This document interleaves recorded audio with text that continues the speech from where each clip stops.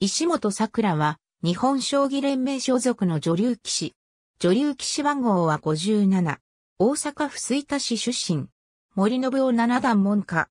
大阪学芸高等学校、立命館大学総合心理学部卒業。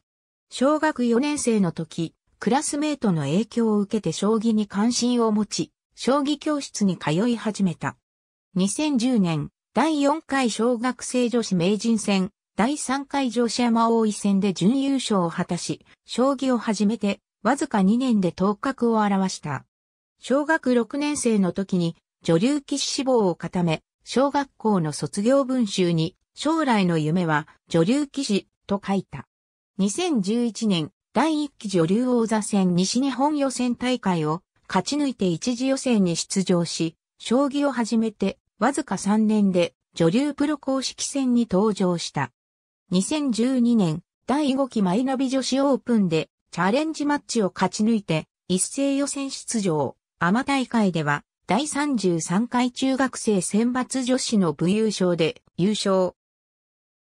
2013年第3期女流王座戦西日本予選大会を勝ち抜き一次予選に出場すると、一次予選で相川遥、甲斐智美に連勝し、二次予選でも中村桃子に勝ち本戦に進出。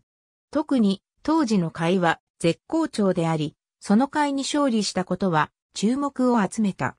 2014年の第4期も西日本予選大会を勝ち抜き、一次予選で E の愛、稲川真奈好みに連勝。二次予選で上田初美に勝ち、2期連続の本戦進出となった。石本は関西研修会に入会して B1 クラスに昇格し、奨励会への入会を目指していた。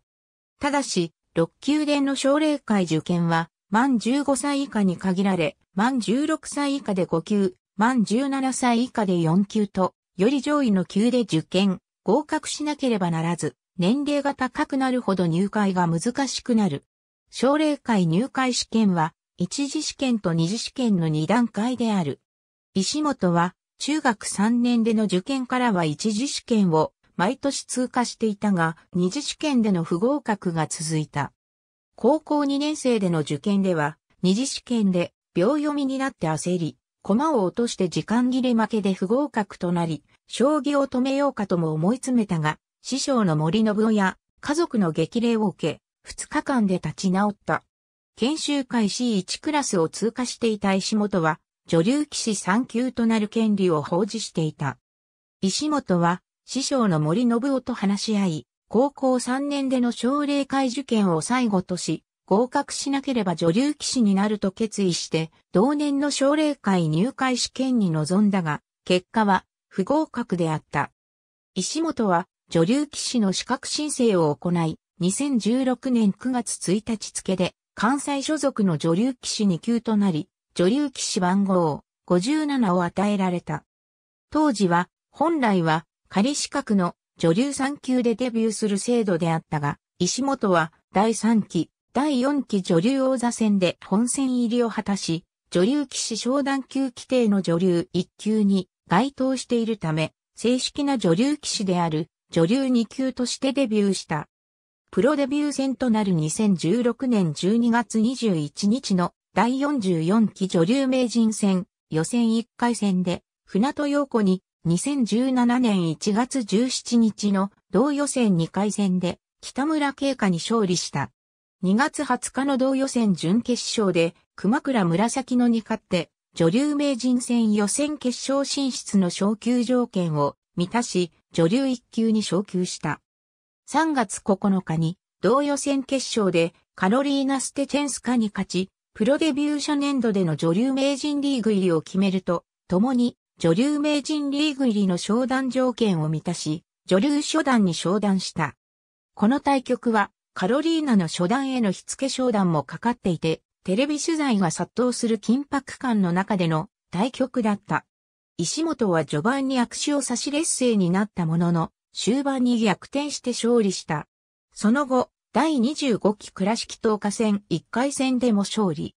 3月30日、第39期女流王将戦予選の1回戦で、天に勝つが、続く2回戦で、村田聡母に敗れ、プロ入りからの連勝は6でストップした。2017年度第3回女子将棋山田チャレンジ杯でベスト4入りし、2017年8月27日に行われた公開対局に出場し、準決勝で山根琴美を、決勝で鈴木環奈をそれぞれ破って優勝した。2018年度第4回山田女流チャレンジ杯で2年連続でベスト4入り。2018年8月19日に行われた公開対局に出場し、準決勝で加藤慶に勝ったが、決勝で中澤さやに敗れ、山田女流チャレンジ杯2連覇はならなかった。2020年度第28期倉敷東下戦で、香川愛生、渡辺愛、甲斐智美といった女流タイトル経験者を立て続けに、破り挑戦者決定戦に進出した。初の女流タイトル挑戦がかかったが、挑戦者決定戦では、中井博恵に136手で敗れ、惜しくも女流タイトル挑戦はならなかった。2020年12月14日、第3期精霊戦予選で中村まり花に勝ち、女流初段昇段後60勝となり、女流2段に昇段した。好きなアーティストを挙げ出すと、キリがないので、今回は第1部に少し触れた椎名林檎について書かせていただく。彼女の才能、実力、容姿、すべてに憧れる。石本桜第44期岡田美術館、倍女流名人戦女流初段、石本桜女流三段、岩根忍次戦記第五譜。ありがとうございます。